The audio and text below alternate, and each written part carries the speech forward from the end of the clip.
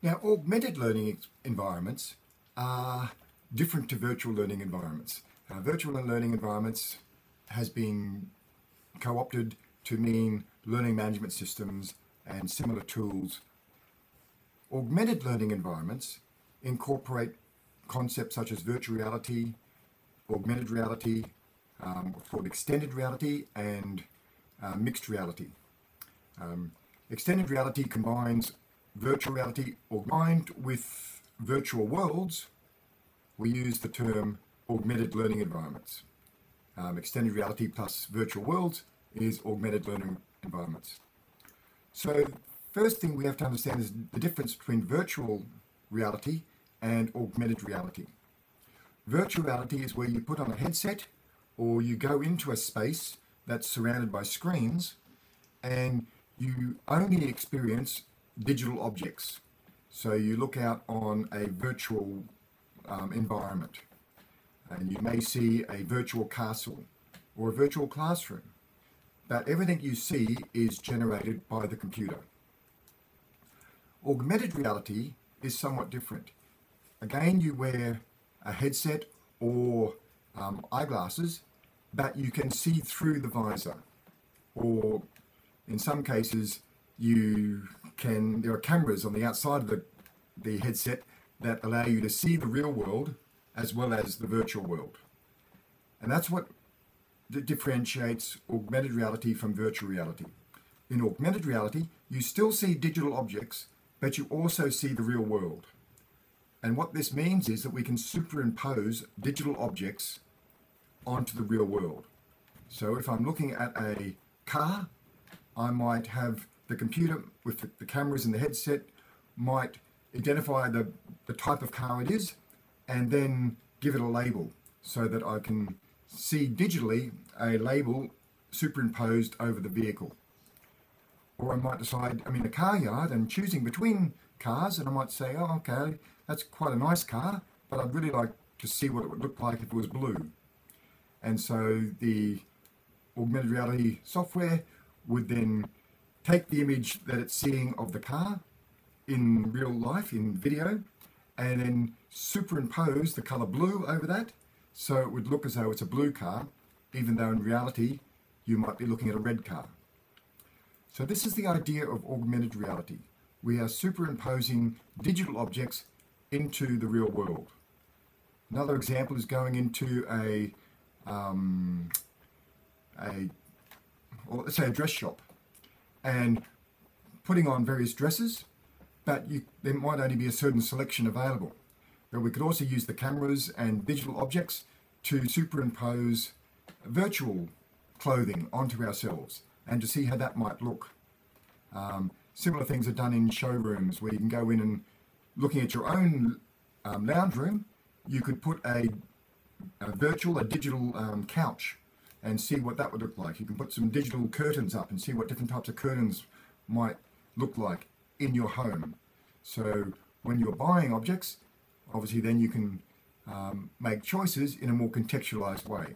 So there's lots and lots of different applications around virtual reality and augmented reality. Both require hardware.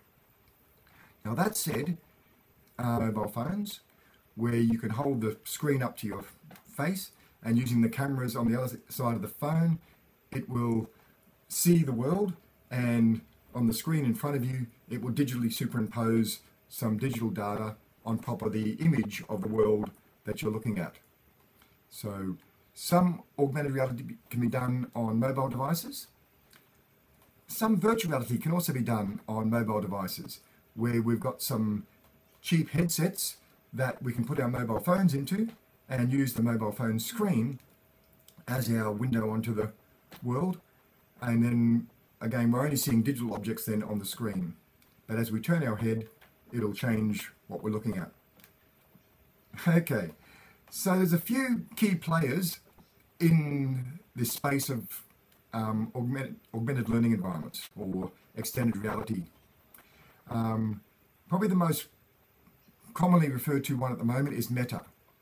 Uh, this is where Facebook has decided to transform itself from a social media platform into a virtual and augmented reality platform.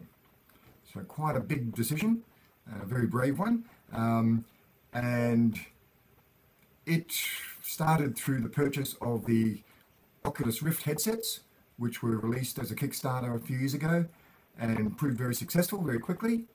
And the founder of Facebook decided that that was a really great idea, and that's where they would the direction of the internet would be going, where we would all be experiencing the internet through a augmented learning or an augmented space.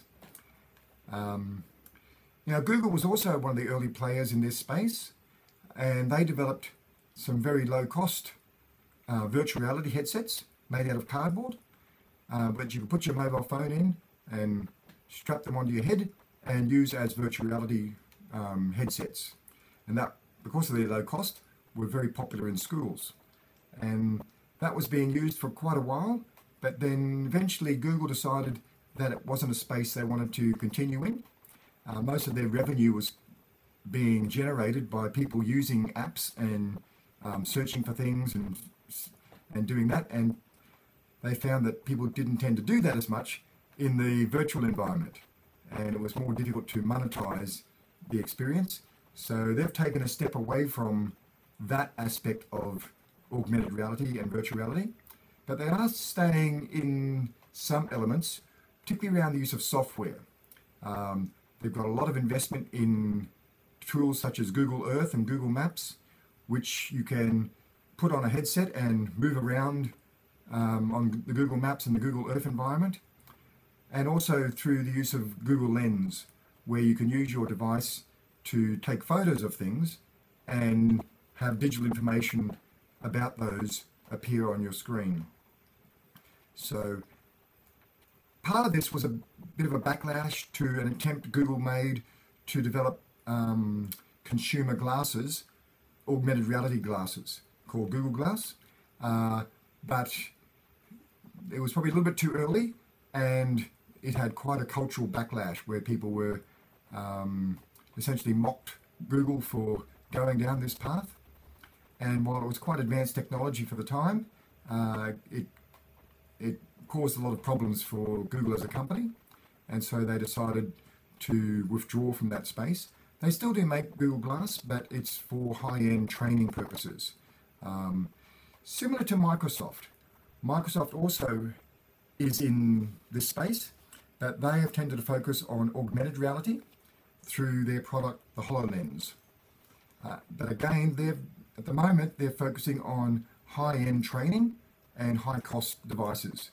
Um, so they cost at least sort of three thousand dollars each. So it's somewhat out of the range of most consumers.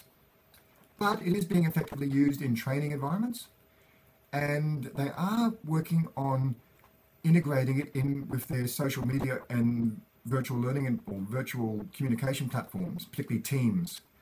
And if that happens, particularly if they also integrate it in with Skype, then it may transition to a commercial product, which will make it more open to use in more wides, wides, widespread use in education. Of course, the price will come down dramatically and it will then be more available. So the final one, final one of the major companies, is Apple. And Apple has been rumored to be developing some augmented reality glasses for a number of years now.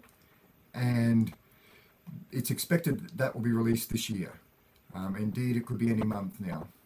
So that again will likely um, supercharge the whole uh, engagement with um, augmented learning environments because the Apple tools will tend to be, while they'll still be high cost, um, being Apple, they'll be very much aimed towards consumers.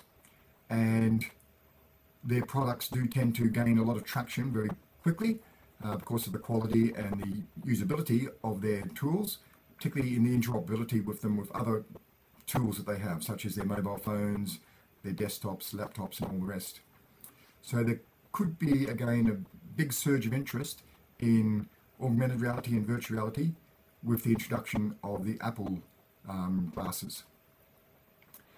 So while these tools allow us to do a lot of things, um, there's a lot of games available.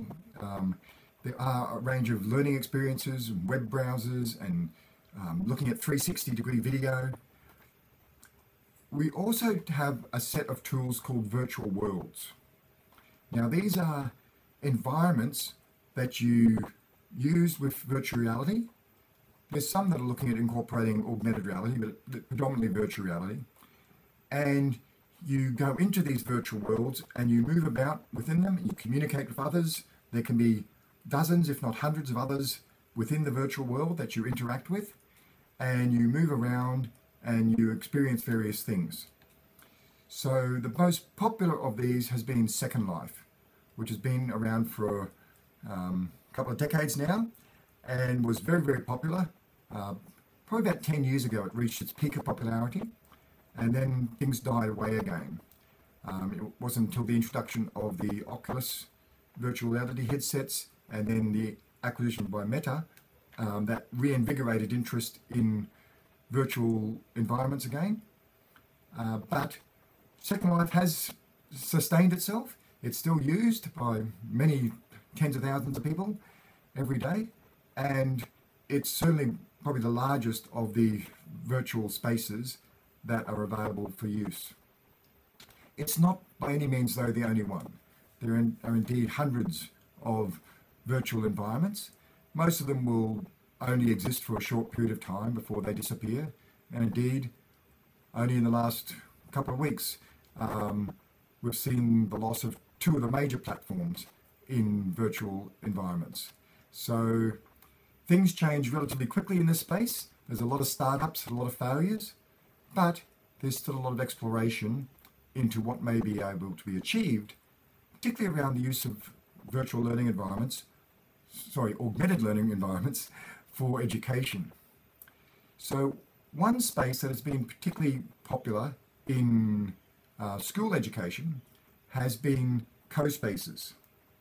So this is an environment where you can create objects relatively easily and build reasonably small learning environments that students can uh, participate in and they can participate as groups and communicate with one another and do various activities within these constructed spaces. And by the name of the, uh, the tool, CoSpaces, students can also create their own um, environments.